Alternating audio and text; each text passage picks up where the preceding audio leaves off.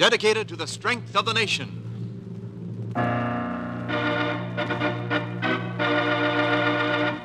Proudly we hail.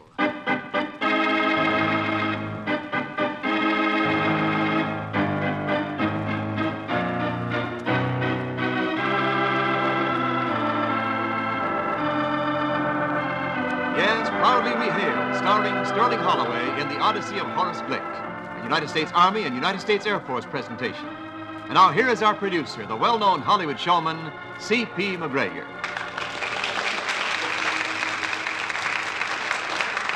Thank you, thank you very much, and greetings from Hollywood, ladies and gentlemen.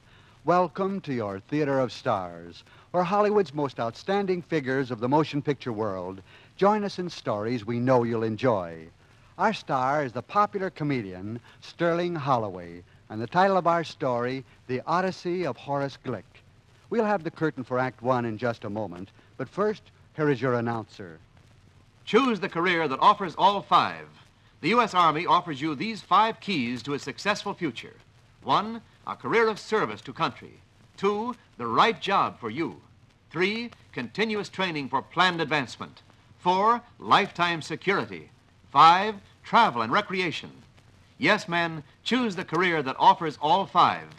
Find out about the five keys to a successful future at your nearest U.S. Army and U.S. Air Force recruiting station.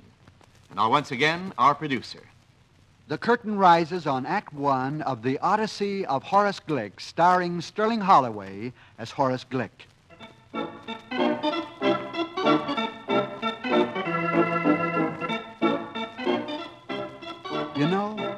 Story like this one about Horace Glick, it ain't nothing but pitiful, sad sadness. Just laying eyes on Horace Glick start you weeping about little orphans and stray dogs. Horace looked like nothing in the book.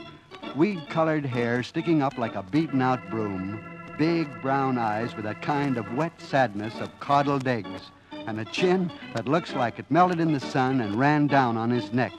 But this will stagger you. He's married. Yeah, Horace Glick's got a Mrs. Glick. And she ain't bad either, which hands us guys a few things to figure out besides the horses. Well, as I get it, the whole story begins one morning at the screech of dawn. Horace is skipping around in the land of Nod, and the only commotion in the Glick bedroom is the clock ticking to itself and sort of crouching back, getting ready to spring.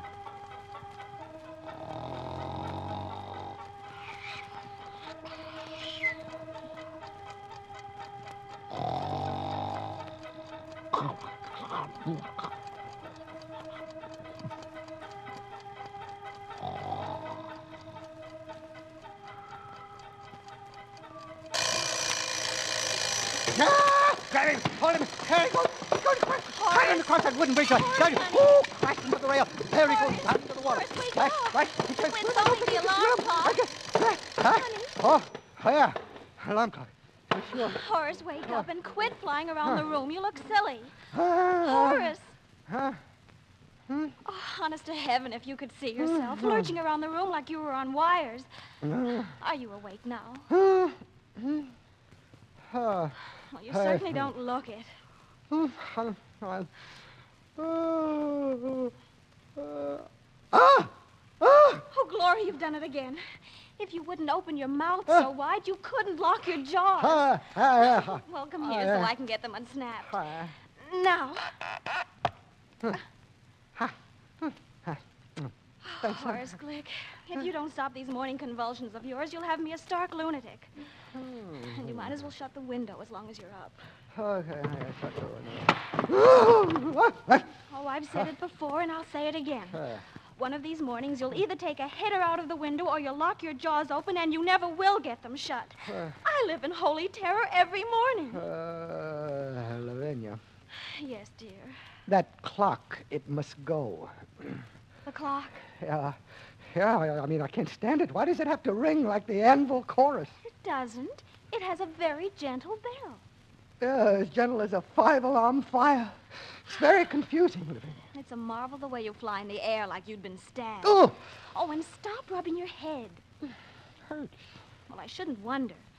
The way you go lurching around every morning, banging into the dresser and door jams. I know. I got awful banged. Look, Lavinia. Hmm? Lumps. Well, I'm not at all surprised. Hmm. Hand me my robe and I'll go put the coffee on.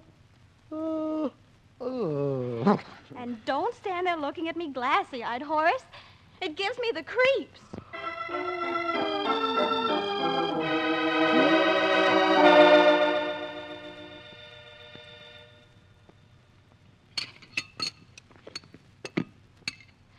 Oh, my. Horace, will you please quit dawdling in the bathroom and come to breakfast before everything's stone cold? Coming, honey.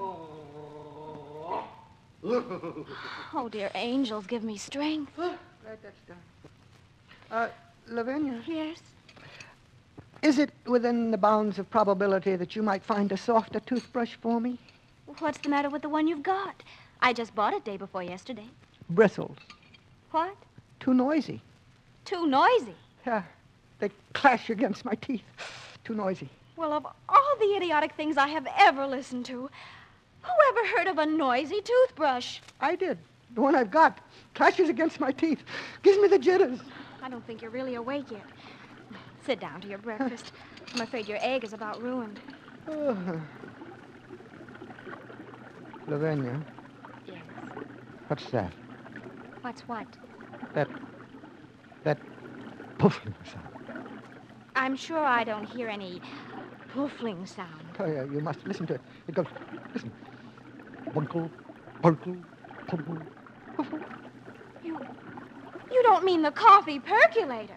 Oh, is that what's going? Buckle, buckle, buckle, buckle. Well, whatever it's going, it's percolating the coffee, if that's what you mean.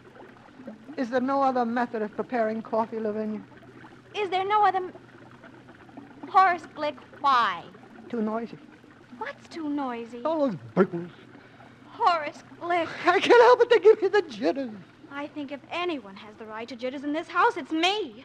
Clashing toothbrush, noisy percolator. Oh, honey. Well, how do you manage to stand the awful crashing of the eggshells when you break your egg? Oh, don't. Oh, now stop your foolishness and finish your breakfast. Here's the paper. Stop, Lavinia. Now what? Take it away. Well, why? It just came. Take that paper away. It gives me the jitters. Well, the news is no worse than usual. Why should this morning's paper give you the jitters? Oh, this morning's paper is worse than ever with all the crashing and the crunkling and the and that awful crash that came from the sports page. Oh, too noisy. Horace, if you say that again, I'll scream. Oh, no. Please, Lavinia. Horace Glick, uh, Yes? I think we may as well face it. Face what? Face the fact that something is radically wrong with you. I know, honey. Jitters. Well, jitters or plain common insanity, I want you to promise me something. Well, what? That before you come home tonight, you'll see a doctor. Oh, now, really, Lavinia. hmm You can take a streetcar at noon out to see Dr. Arnold. No, I couldn't possibly take a streetcar, Lavinia. Why? Well, streetcars, you know, they go a biddly doo, biddly da, biddly doo, biddly da, clang, clang, clang, fares, please. Oh, my wrong streetcar. Transfer, jitters. Oh, very well, Mr. Glick. Then either walk or take a cab. But I want your promise. If you come home tonight without some reasonable excuse for your behavior, I'll pack up and leave. Oh, no, Lavinia. No, no, I won't. I'll run the vacuum cleaner all night. Oh, no, pack up and leave if you must, but, but don't, don't run the vacuum cleaner, that awful zzz, zzz. Oh, no, jitters.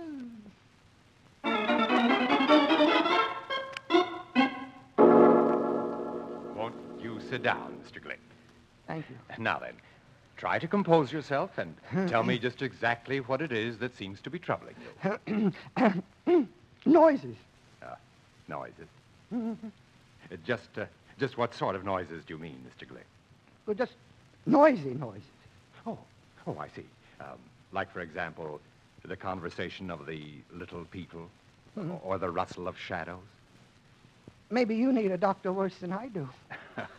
oh, I never hear such things, but uh, but people sometimes do, you know. Really? Now, uh, tell me, uh, what noises seem to trouble you the most, Mr. Glick?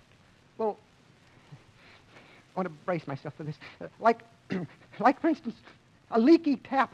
It goes clip, clop, glump, drip, glump. Oh, it gives me the jitters.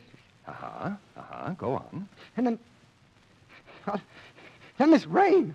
Rain on the roof, on, on a soft roof, or a tar roof or a tin roof. It goes plock, crash, clang. Oh, no, Dennis, please don't make me do it. Stop the rain. Stop it. Get it off that tin roof anyway. Oh, Extraordinary. Most extraordinary. I- I'll just make a note. Yes. Leaky tap, yes. rain. Yes. Doctor, would, please, would you mind using my pen? It doesn't scratch. Oh. See, mine doesn't go. Oh, yes. yes, yes, of course, Mr. Glick. Your, uh, your auditory senses are quite acute, aren't they, Mr. Glick? No, I just have good hearing, that's all. Uh, yes, yes. Um, Mr. Glick, oftentimes something in our early life, our childhood, begins a pattern. Now, some occurrence results in psycho or mental quirks in later life. Now, do you recall any undue noises that gave you, shall I say, a, a fright when you were a child? When I was a child. Yes. Yeah, well, I, I remember once uh, a mosquito got too close to my ear when I was a child. It! Was having fun. Aha! Anything else you recall, Mr. Glick? Oh, I was scared by a cement mixer once. Went chunk chunk chunk chunk cloop. Yes. Stop, yes. please. Stop. Yes, Mr. Glick, yes. I, uh, I think I get the idea. Yes, sir. Good. Splendid. Oh, no, it was rather unpleasant. All that chunk chunk Yes, yes, I know, I know. But what I mean to say, Mr. Glick, is that I think we've struck the crux of your dilemma. Don't strike it too hard, please, Doctor. No, It might make an no. awful In fact, I'm convinced that you're undoubtedly suffering from a condition which we might term sonophobia. Sona, Or, or shall I say, fear of sound. Yes. Yes. Now, I can only recommend a long rest, absolute quiet, and uh, perhaps an ocean voyage. Seasick. Oh, oh. Well, uh, in that case, perhaps a long trip to the mountains. Oh, no. Coyotes. I beg your pardon. Coyotes. Yes, yes, yes, of course, of course, Mr. Glick, I understand. Uh, however, please bear in mind that regardless of where you find them, rest and complete quiet are imperative. Of course, in the valleys, the coyotes are going, "Hurr, hurr." they're pretty bad, yes, too. Yes. Oh, um, incidentally, Mr. Glick, what is your occupation? I work in a broadcasting studio. Ah, yes, yes, I begin to understand. But um, what I mean to say is, what do you actually do? What is your job? Noises. I beg your pardon. I'm a sound effects engineer.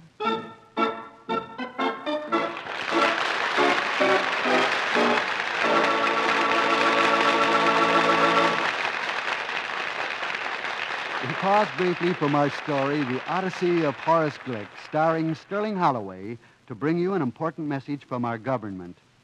Choose the career that offers all five. The U.S. Army offers you these five keys to a successful future. One, a career of service. In the Army, you'll be on a team with a tradition of patriotic service to the nation. Two, the right job for you. Scientific aptitude tests determine the job you're best suited for. Three, continuous training for planned advancement. Specialized training and educational courses prepare you for advancement. Then the Army's career plan assures you periodic promotions based on your skill and efficiency. Four, lifetime security. You as an Army man are guaranteed regular pay and sound retirement benefits. In sickness, your medical care is provided without cost and your regular pay continues. Five, travel and recreation. In the Army, you'll enjoy the finest recreational facilities and opportunities for worldwide travel. And remember, you have 30 days vacation with pay each year. Yes, choose the career that offers all five. Get full details at your nearest U.S. Army and U.S. Air Force recruiting station.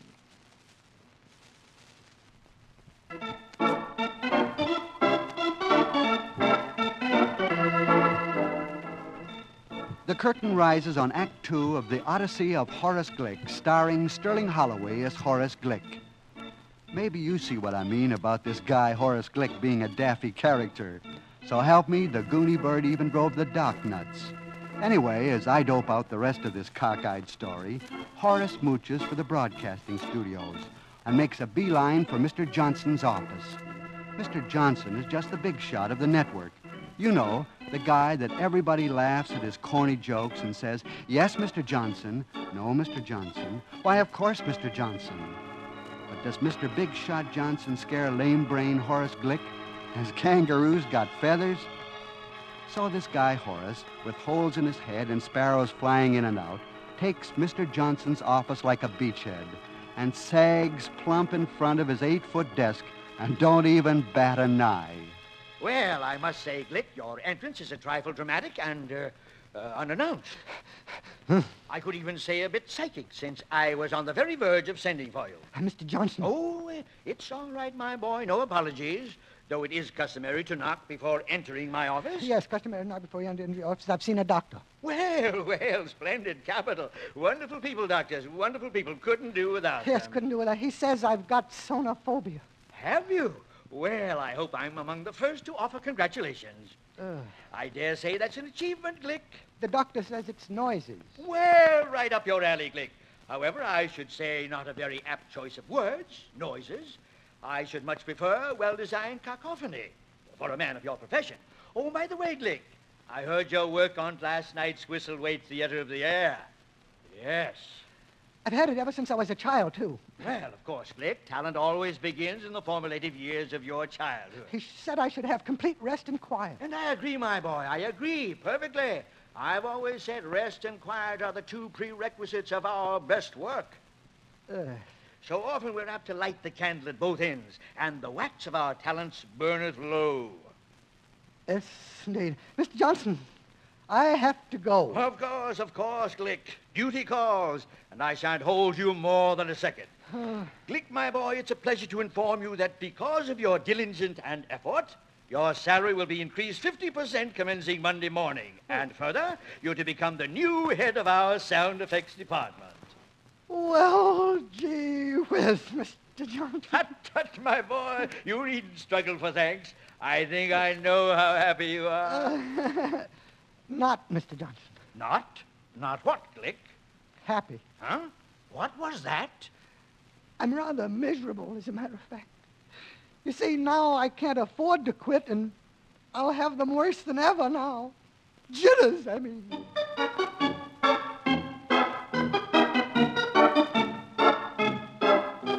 You wouldn't believe it, a guy that screams about the noise of ants stamping their feet or butterflies flapping their wings getting a job like that.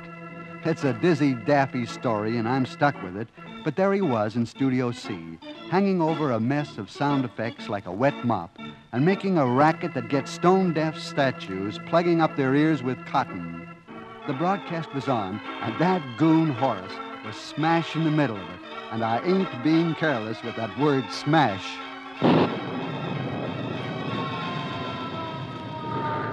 Tracy. The crooks have set fire to the arsenal. Here comes the fire department. Step on it, Lancelot. Maybe we can hit the crooks off before they get away. There they are, Tracy. Stop in the name of the law. They ain't stopping, Lancelot. Let them have it with your Tommy gun. I used your rifle. Okay. You asked for it, Muggs.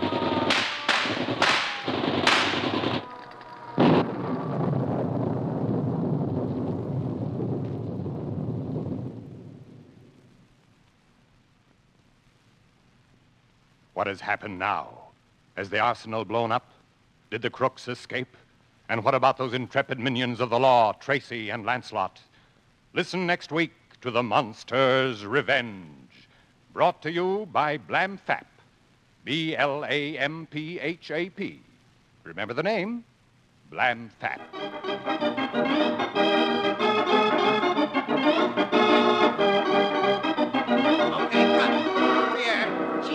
That was a terrific sound effect. Yeah. Oh. Boy, that's the best sound effect God, you've ever that's swell. done. Thanks, fellas. Well, congratulations, Lick. That was the finest piece of sound work I've heard in years of producing. Oh, it was nothing. uh, now about next week's show, Blick. Uh, super duper. Now, the way I see it, the crooks escaped to their hideout where they've got an atomic bomb hidden. Yeah, a- atomic bomb. And when they set it off, it caused an earthquake and an avalanche and uh, uh, maybe even a tidal wave. Yeah, a tidal wave. Super terrific. Mr. Morley, What? What, got some more ideas for sound? would you please stop tapping that pencil? It's noisy.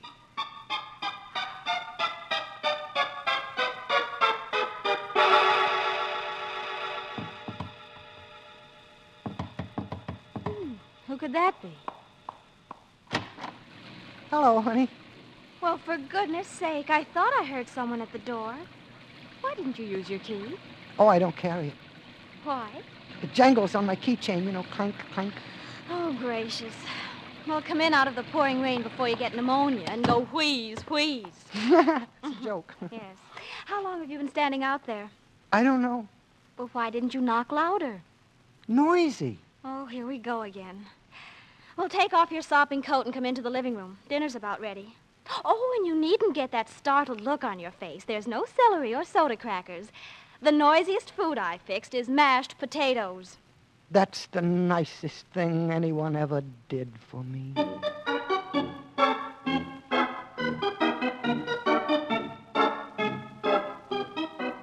You know, that screwy moose Horace, he ain't nothing if he ain't a fugitive from a squirrel cage. Well, the dizzy Daffy story goes on, and we're back in the Glick bedroom. Not a silly sound to be heard, except the ticking of the clock, and of course the Philly Lou birds flying around in Horace's head, if you can hear them. And believe me, I'm getting so I can. Horace. Horace, Hmm.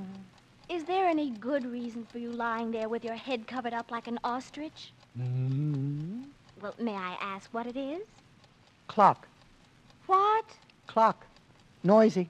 The clock is clear over here on my side of the bed, and you couldn't possibly hear it.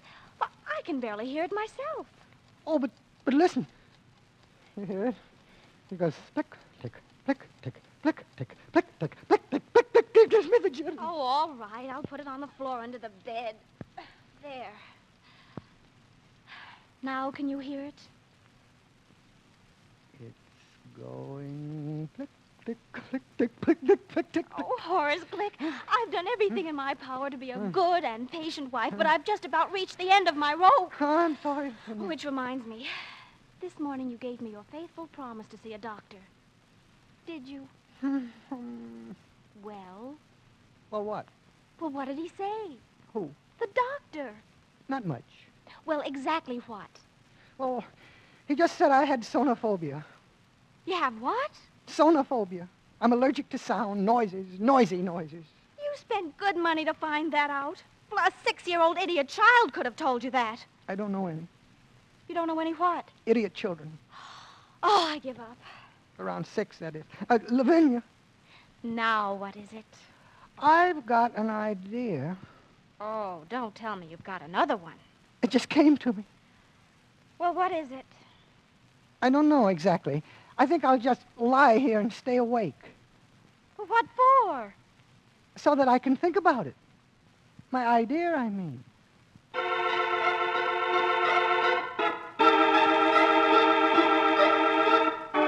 Came the next day. In fact, came 5 o'clock the next day, p.m. that is. And then, do you know what? You wouldn't believe it. At the Glick household came the ringing of the doorbell. Coming. Hello. Horace Glick, is that you? Can't use my keys. Don't carry them. Well, for heaven's sake, come in here before the neighbors see you and swear out a warrant for your commitment. I can see your lips move, but I can't hear what you're saying. What's that silly thing you've got on your head? Look what I've got on my head. I am looking, and it's perfectly ghastly. I bought it at a sporting store. It's a football helmet. Well, take it off this instant. It's a foot football helmet. Take that silly thing off your head this minute. I can't hear a thing you're saying. Wait a minute. I'll take the football helmet off. Well, I should think so. Yeah. Wait till I take the plugs out of my ears.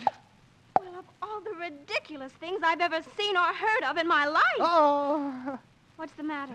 too noisy. Put the plugs back in again. Put my football helmet back on again. now it's not noisy. Oh, so that's it. Can you hear me? Horace, I said, can you hear me? Peace and quiet. No jitters. Oh, don't tell me this is going to be the answer. Wait a minute, we'll just find out. Horace, can you hear that? Peace and quiet. When are we going to have dinner? I'm hungry. Glory be, it's a miracle, that's what it is. Nothing but a miracle. Come into dinner, Horace. Oh, Lavinia. Lavinia. Lavinia. I forgot to kiss you when I came in. So you did, honey. I said, so you did. Yeah. There. you know, Lavinia, It's so nice to come home to peace and quiet. Not noisy. Don't have the jitter.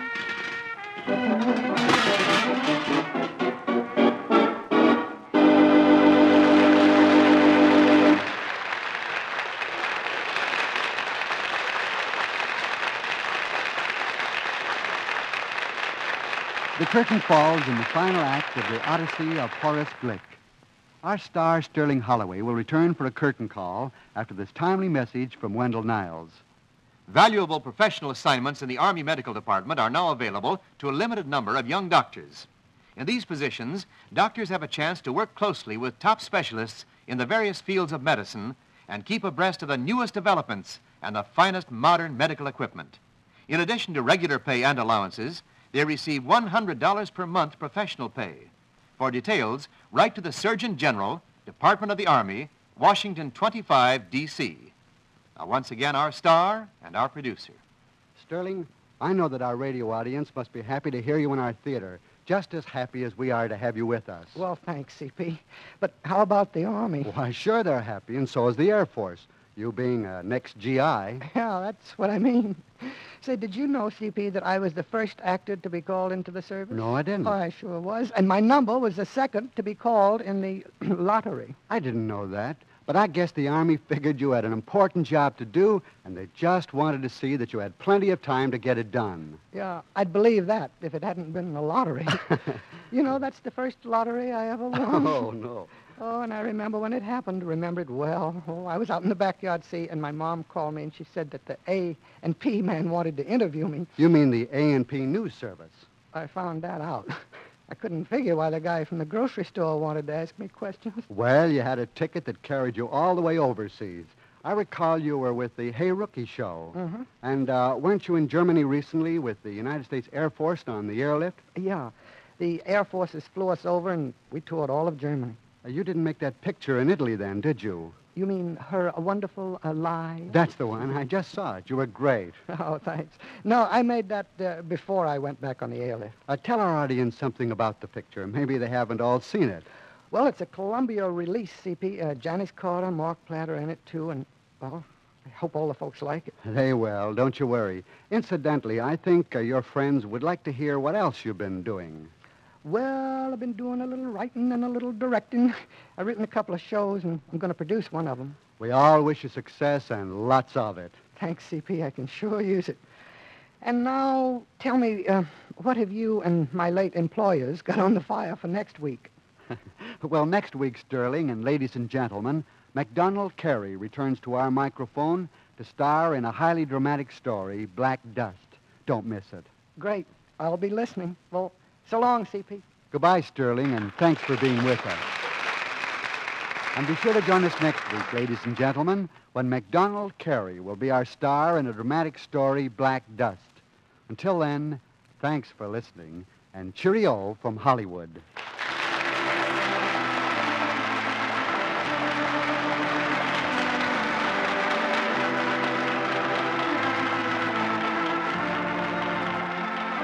Sterling Holloway appeared through the courtesy of the Hollywood Coordinating Committee, which arranges for the appearance of all stars on this program. Script was by Kimball S. Sant, with the music of Eddie Dunstedter. This program was transcribed in Hollywood for release at this time. Wendell Niles speaking.